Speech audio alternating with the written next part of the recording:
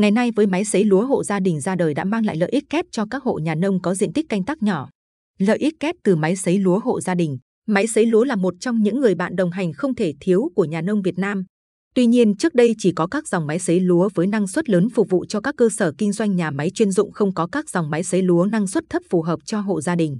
Nhưng ngày nay công ty trách nhiệm hữu hạn sản xuất cơ khí và thương mại toàn cầu giới thiệu đến bà con dòng máy sấy lúa hộ gia đình với đặc điểm nhỏ gọn, dễ sử dụng, chi phí thấp, tiết kiệm nhiên liệu và đặc biệt năng suất không thua kém các dòng máy sấy lúa lớn, đảm bảo mang lại lợi ích kép cho các hộ nhà nông gia đình.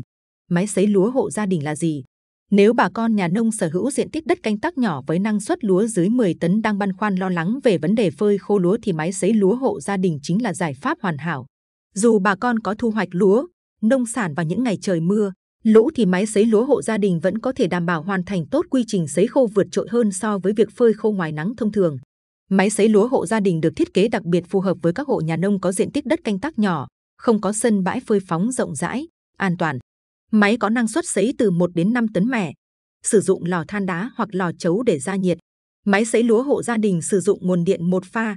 Đây nguồn điện dân dụng mà mỗi gia đình đều đang sử dụng bà con không phải lo lắng quá nhiều về vấn đề điện áp dành cho máy. Công dụng của máy sấy lúa hộ gia đình không bị ảnh hưởng bởi thời tiết, trái ngược với trước kia phải đợi những ngày nắng gắt mới có thể mang nông sản ra phơi. Khi mưa đến thì lại bị xếp gọn vào một chỗ gây ảnh hưởng đến chất lượng hạt. Nếu chẳng may không gom vào kịp sẽ khiến lúa bị ẩm mốc, hư hại. Máy sấy lúa hộ gia đình giúp thu hoạch nông sản khô ngay sau khi gặt và gom vào sấy ngay mà không phải phụ thuộc vào thời tiết. Tiết kiệm thời gian và nhân công theo phương pháp truyền thống. Một mẻ lúa được phơi khô để bảo quản cần khoảng 3 đến 4 ngày nắng gắt.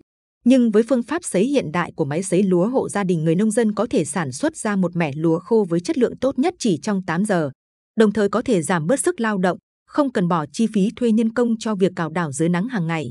Máy sấy lúa hộ gia đình đảm bảo chất lượng hạt, với phương thức truyền thống sau khi phơi bà con phải quạt, sàng vất vả và độ khô của các hạt thành phẩm không đều nhau thì nay vấn đề này hoàn toàn được khắc phục khi sử dụng máy sấy lúa hộ gia đình.